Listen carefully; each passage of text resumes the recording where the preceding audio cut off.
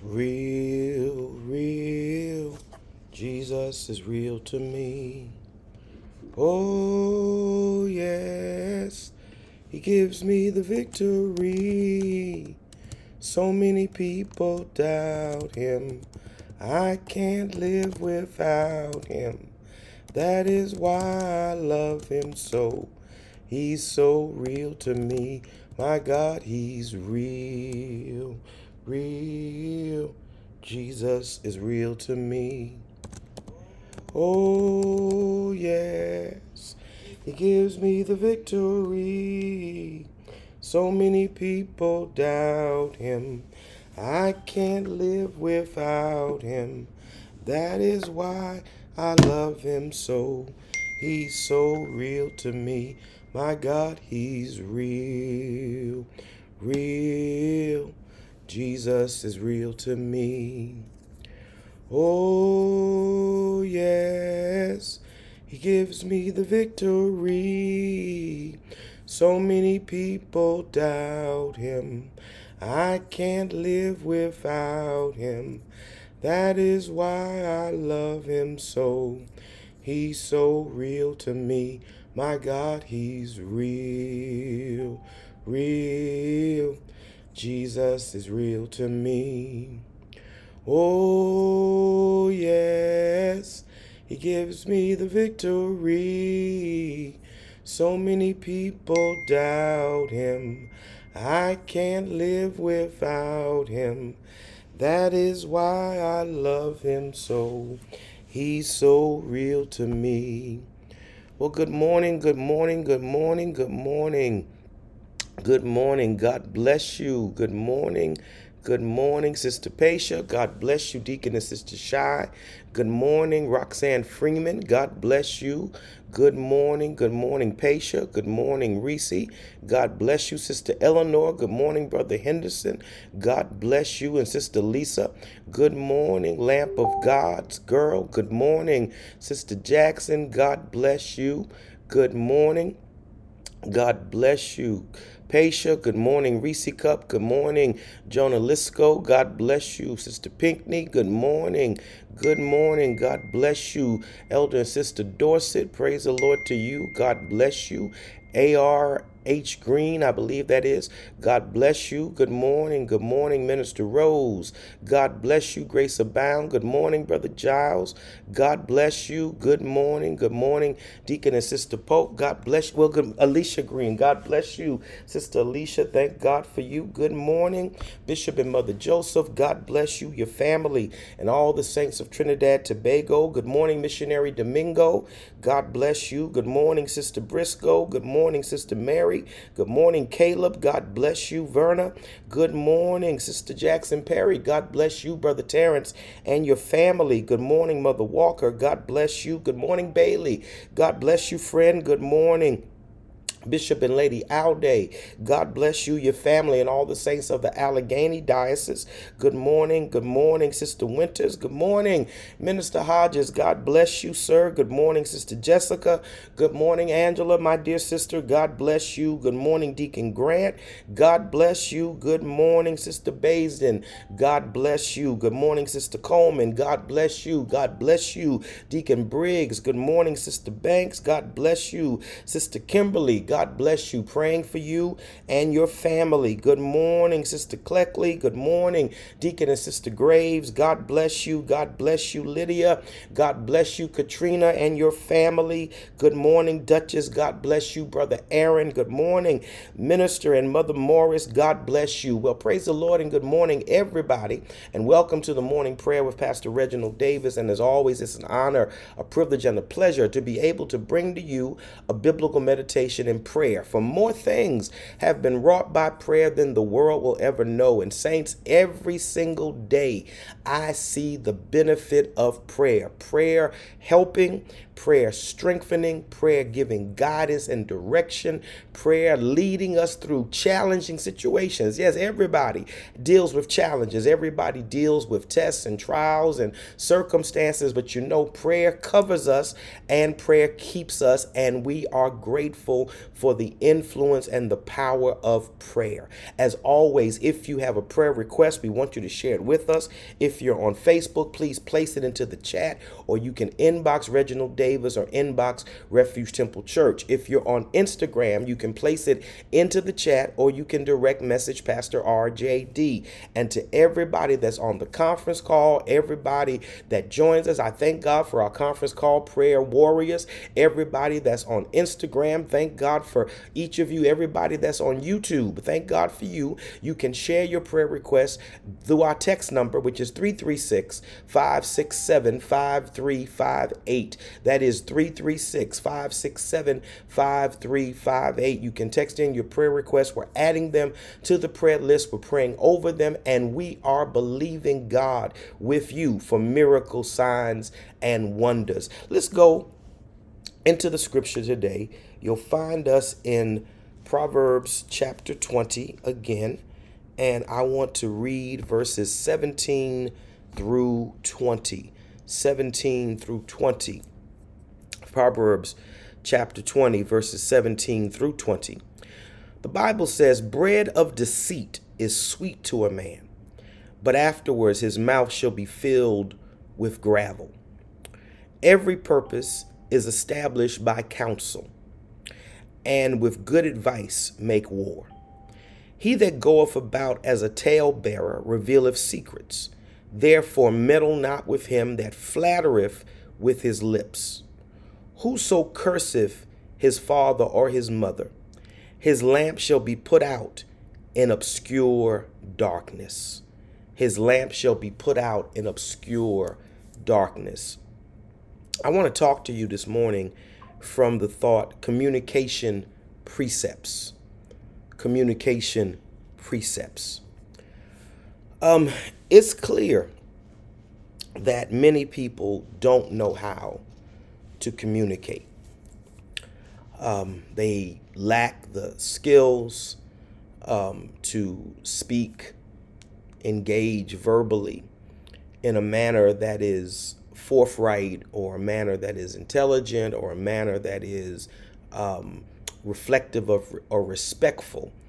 And people battle with communication. You know, probably one of the biggest uh, struggles in all relationships, whether it's marriage or family or church or business or friendship, is communication. How we communicate with each other. Do we communicate with each other? do we share do, do we disclose do we give information and and strangely enough most people communicate with the wrong people let me say that again most people communicate with the wrong people and they fail to communicate with the right people. We, we talk and we talk and we talk and just because somebody knows how to talk doesn't mean they know how to communicate. They know how to verbalize. They know how to express. We've been talking many of us since we were about two years old. So we know how to talk. Hallelujah. But do we know how to communicate and there's a difference. There's a we we most of us have been writing since we were about 6 years old. But do we know how to communicate? Some of us have learned how to type and learn how to use word processors and all of this but do we really know how to communicate? And and Solomon gives us some precepts that I want to um, point out and I want to reflect today that will better help us be able to communicate effectively because what you want is for communication to create understanding. Let me say that again. You want your communication to create understanding that what I share, what I talk about, what I write, what I disclose is somehow going to be able to create better understanding with the people in which I live. That my family, my friends, my associates, my church members, my colleagues in business, I want to be able to know that what I share, what I verbalize, what I write is going to create greater understanding among people. So let's deal with some precepts of communication. The first one is um, honesty and integrity. Do we communicate honestly? The Bible teaches us that we should speak the truth in love. Now, you have one of two things happening either people aren't speaking the truth or they aren't doing it in love. They're speaking the truth with the intent of hurting your feelings. And you should never intend to hurt somebody's feelings. You might intend to great raise awareness. You might intend to um, share information. You might intend to convey your emotions, but it's never designed to hurt. Because if you're speaking the truth in love, your intent is not to hurt. Your intent is to communicate. And the Bible says, look at this. Some people don't communicate honestly. Look at what the Bible says. The bread of deceit is sweet to a man. Hallelujah that means that you're deceiving and you feel slick and you feel like you're getting over and you feel like you're conniving somebody, misleading somebody, swaying somebody's thoughts or opinions. But look at what the Bible says afterwards, his mouth shall be filled with gravel. That it's a deadly thing. It's a deadly thing. It's not a tasteful thing. It's not something that is sought after to deceive. You don't try to get over on people. You try to communicate honestly. You want them to see and understand your perspective, but the goal is not to deceive. The goal is to speak the truth in love. Say it in a manner that is, is, is acceptable, that can be received, that can be understood, because the goal is to, hallelujah, change mindsets. The goal is to give information. The goal is to help people make sound and rational decisions, and communication has to be a part of it. But the Bible says this out of the abundance of the heart, the mouth speaketh. That the mouth is a reflection of really what is going on inwardly in the spirit. So if you find yourself being verbally aggressive, if you find yourself hurting people with what you say, if you find yourself deceiving people with what you say, it is an indicator of what is actually in the heart. It is an indicator of what is actually inward inside of a person. So it's important that your heart is right so your speech will be right. It is important that your heart is right so that your speech will be right. Look at verse number 18. Every purpose is established by counsel. Hallelujah. Every purpose. In other words, what is the plan? What is the goal? What is the objective? Is established by discussion, by counsel. And this is important that you not make any decision haphazardly, that you not make decisions, that you not make plans without careful consideration.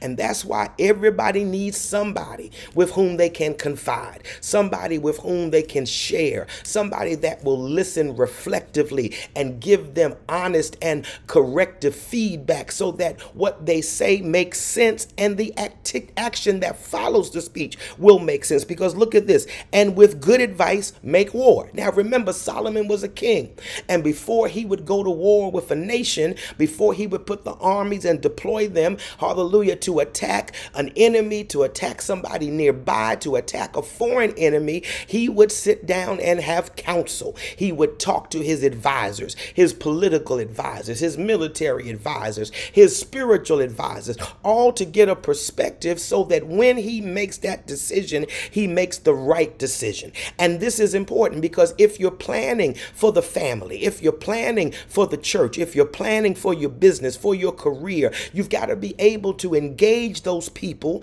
that you're planning with and give them information so that they can give you counsel, so that they can give you advice, so that they can give you what is needed so that you make a good and sound decision. What you don't want to do is either not talk about it or what you don't want to do is make a decision without hearing a variety of perspectives. The reason why some people make messes is because they don't listen to the perspectives that are around them. They think there's only one way to look at it, and that's their way. But there's another way to look at anything. There's another way to consider almost anything, and you've got to be able to talk about it, get those perspectives so that you can make a sound and rational decision. But that's important that you have that dialogue in order to be able to communicate effectively. Verse 19 He that goeth about as a talebearer revealeth secrets. Therefore, meddle not with him that flattereth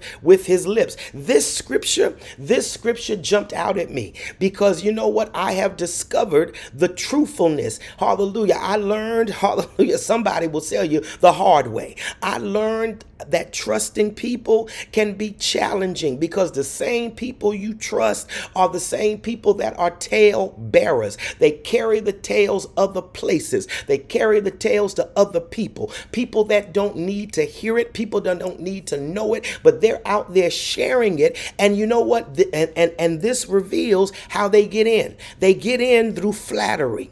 They get in through flattery. People get into your confidence by flattering you, telling you what they think you want to hear, telling you how great you are, how anointed you are, how gifted you are, how smart you are, and all the while they're there to siphon information. Let me just tell you, they're there to siphon information. They're give they're telling you, "Oh, there's nobody like you. You're the best this, you're the best that, you're the best whatever." And they're giving you all of that flattery flattery. And what are they doing? They're breaking down your mental defenses because most of us just don't reveal stuff to people randomly. Most of us don't reveal intimate secrets to people randomly. But when people flatter you, their flattery is for the purpose of breaking down your defenses. They want to break down your mental barriers, they want to break down your mental boundaries, all with the attempt of trying to tell, get information from from you.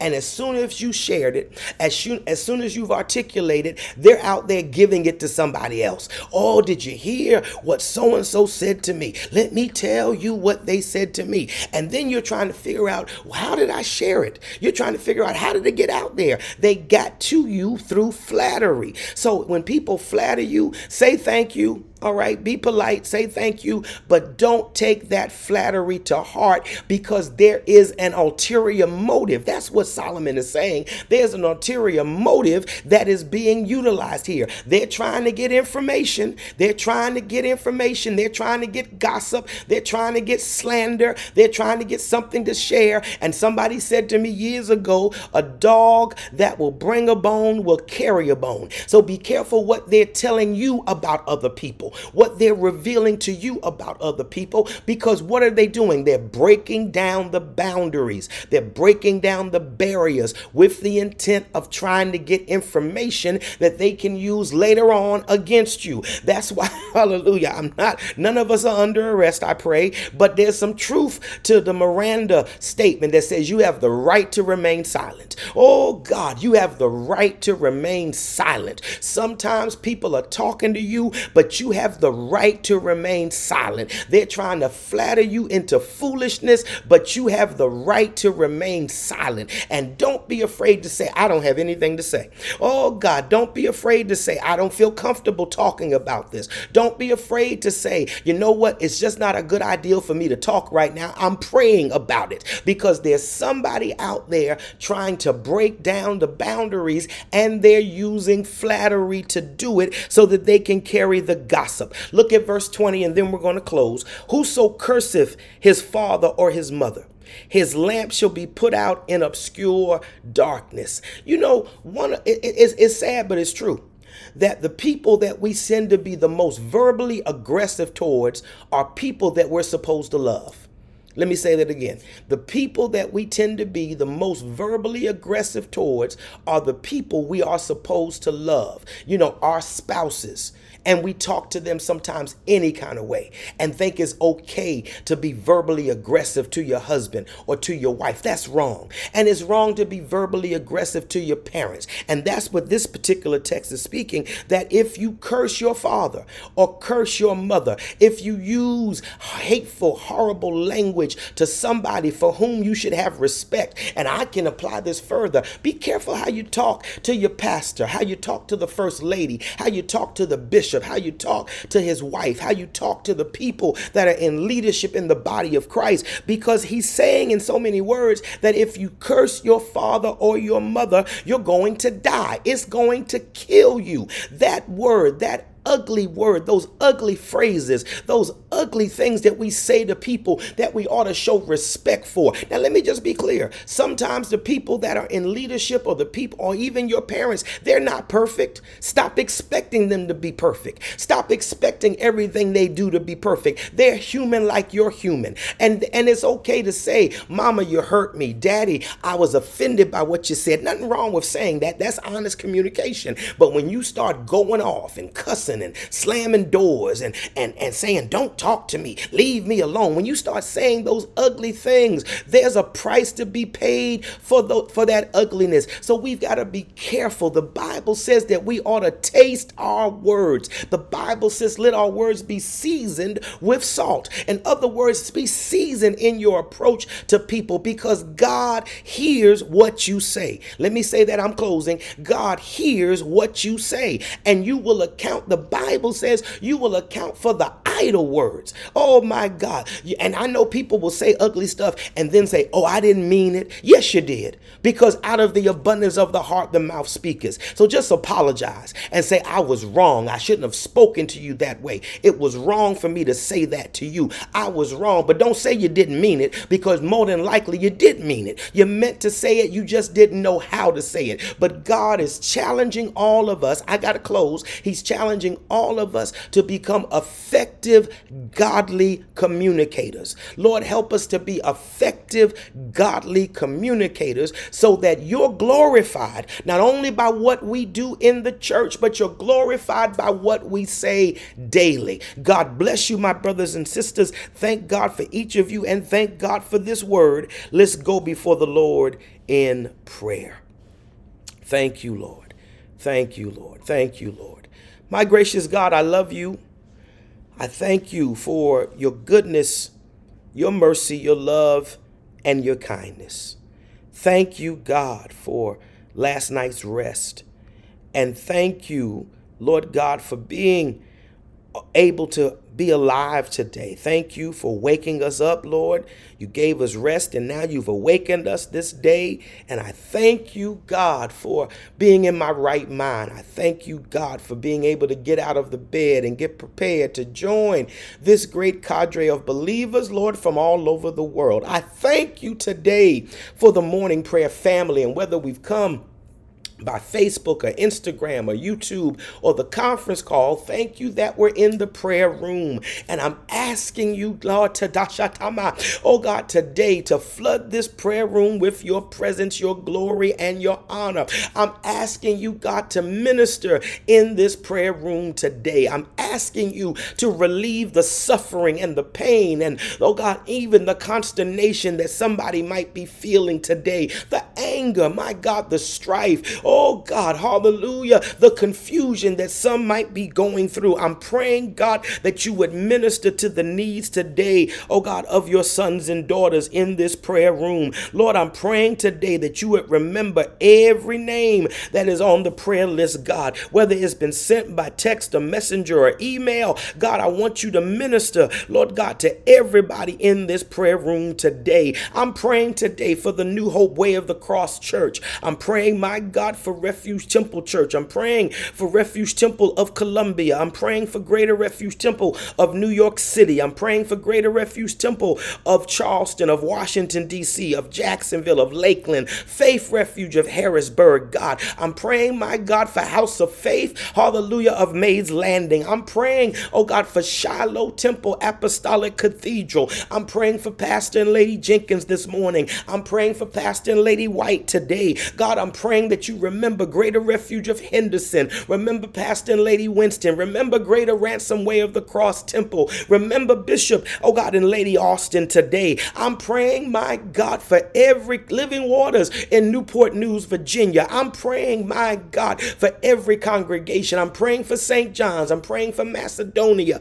I'm praying, my God, for every congregation represented in this prayer. The Community Church of Astoria, the Community Church of Island. God, remember them them now in the mighty name of Jesus. Calvary Temple, hallelujah, of Petersburg. Calvary, hallelujah, Outreach Center, my God of Petersburg. Remember these churches today. God, I'm praying today that you remember, hallelujah, in the name of Jesus, Bishop Thomas. Remember Pastor John Howard Sr. Remember Pastor and Mrs. Barrett today. Remember Elder Iris Cash. Remember Lestine Thompson. Remember Brenda Gilliard. Remember Kim Townsend hallelujah, Newkirk today. Remember Mother Janetta Hicks, Mother Shirley Owens. Remember Stacy and Trayvon Watson. Remember Vanessa Pridgeon today, Nasir, Adina, Hazel De Leon. Remember, my God, Felicia Moore. Remember Sister Jessie Brisbane. Remember Anthony Nash Sr. today. Remember April Lucinda Pettiford. Remember, my God, Sylvia Hood. God, I'm praying today that you remember Sister Sheila Reed, Dr. Jennifer McCarroll Johnson.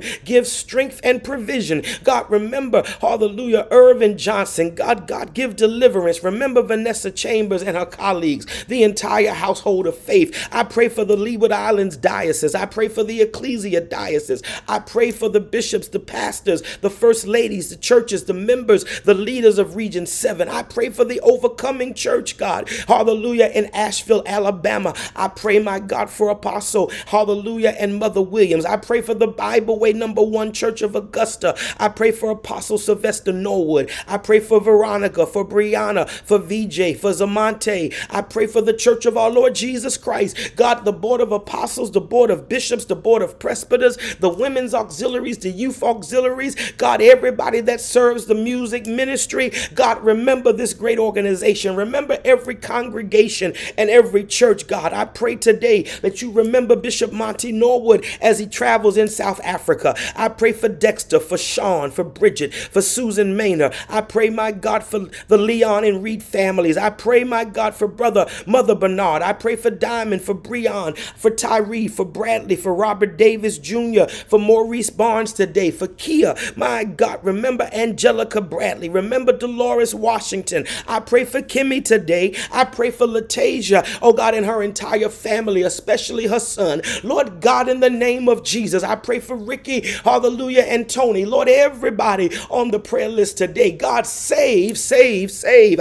Eh, to the utmost right now. God, deliver and make whole in the name of Jesus. Lord, remember, my God, every backslider, reclaim and restore in the name of Jesus Christ. God, remember, my God, everyone that is downcast, burdened, broken, my God, touch, deliver, make whole the addicted. God, deliver them in the name of Jesus. Eh, God, stretch out your mighty hand. Lord, remember the sick today. Everywhere, God, there are sick people, my God, battling illnesses, recovering from surgery. But God, we trust you now as the healer. Remember Lady Davis today. Remember Geneva. Remember Azaria today. Remember Dariana. Remember, my God, Phoenicia. Remember Bishop Michael Austin. I pray, God, that you remember Sister Sarah Corden, Mother Florence May, Mother Norma Berry. God, remember Christy Harrison's husband, husband today. Remember, my God, Daria. Remember, my God, Evelyn Johnson, Brianna, Alice Pugh's son, Gary. Remember, Mother, all the, remember, my God, Sister Lynn. Remember, Mariah. Remember, Barbara Daniels, Miss Naomi, Mr. Eddie today, Miss Dalma. Remember, my God, Kwama Adams today. Remember, Kevin Williams, C. Walter, Mark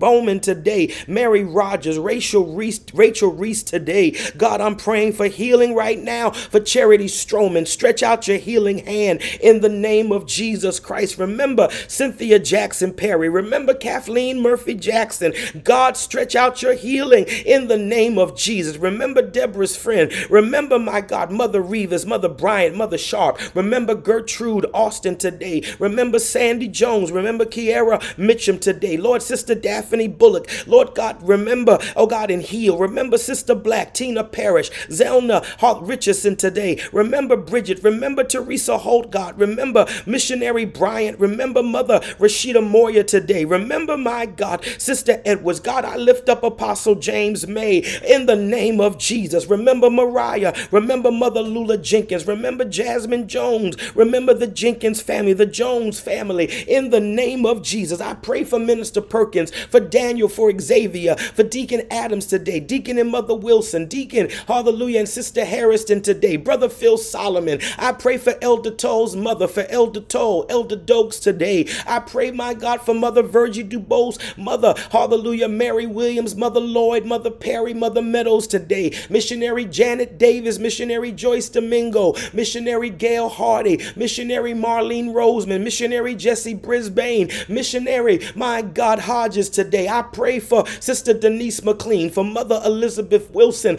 I pray for Brother Carl today. I pray, God, for your healing to be upon Pastor and Lady Winston, Bishop and Mother D, Apostle and Lady Keith today. In the name of Jesus, I pray for Bishop Alfonso Brooks, Bishop Early Dillard, hallelujah, Mother Shirley Clark, Mother Evangeline Jenkins. Lord, I pray, my God, for Lady Andrea Maxwell, for Mother Close today, for Mother Carol Coleman, Sister Shakaya Polk. God, remember Bishop Richard Johnson, Bishop Richard Phillips, Bishop Reginald Griffin. Remember Bishop Clennell Williams, Bishop Irving Taylor, Bishop Gregory Wilder, Bishop Larry Arnold, Bishop Alvin Palmer, Bishop Johnny Davis, Bishop William Jenkins, Bishop Stephen Harper, Bishop Brian Williams, Bishop Thomas Aaron. I pray today for Mother Viola Johnson, Lady J, Lady Williams, Lady Hart, Mother Hardy today, Lady Barbara Vincent, Lady Pamela Davenport, for oh God, for Lady Deborah Carter today, for Mother Stokes, God. I lift up Apostle Hugh Del Rowe, Apostle Herbert Edwards, Apostle Leroy Joseph, Apostle Charles Williams, Apostle Sylvester Norwood. God, remember Brother Wiggins and Sister Wiggins this morning. God, I'm praying today for healing in the name of Jesus Christ. My God, remember Brother and Mother Sherrod. Remember Mother Garland today. Remember Dr. Hayward, Sister Hayward, Dr. Hayward's mother, Mother Jill and Mother Pride. Remember Elder and Mother Dugan, Elder and Mother Murray today, Brother and Mother Chambers, Mother Carter today, Mother Moorhead, Brother Keith, Lady Staten today. Remember Minister Carr. Remember Elder Tyson and Elder Smith this morning, Mother Foster, Henry J, and Brother Cliff, Mother Tanaj, Mother The home, and Missionary Simmons today, Cynthia, Catherine, and Duchess. God, remember in the name of Jesus, Marlette, Maurice, Tony, Dennis today, Kimberly, my God, remember Dennis, God, remember in the name of Jesus Christ, hallelujah, everybody, oh God, remember Cynthia, remember Mother Jackson today, Apostle Moultrie, God, go and visit every hospital, every nursing home, every rehab center, God, in the mighty name of Jesus, even in hospice, Lord, you remain the healer. God, I pray today for the grieving everywhere.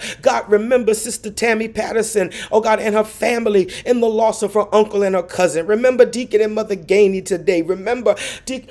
Deacon Clark, remember Eleanor Simpson, Sister Croxton, Pastor and Lady Fears, and the Greater Ecclesia Church of the Poconos. Remember Lady Yolanda Thomas and her family. Remember, my God, Sister Marjorie Thomas, the Thomas family. God, Apostle and Mother Clark and the Christ Temple Church family. Remember Mother Beverly Hargrove and the Hargrove family and the Terry family. We pray for the Forehand family, for the Michael family, for the Jenkins family, for the Davenport family, for Deacon Shannon and the Davenports of Connecticut. We pray for Edna Peace today. We pray for Minister Leon Swanigan. We pray, my God, for the Burton family. God, remember Sean and Braylon. God, we pray for Michelle today in the name of Jesus Christ. We lift up grieving people everywhere. Remember, my God, the family of Brock Cadero Lee Campbell. Remember the Thompson family of Connecticut. Remember the Hallelujah, the Peace family. Remember the Jones family. Remember the Gunter family. Remember Kay Green and family. Remember Miss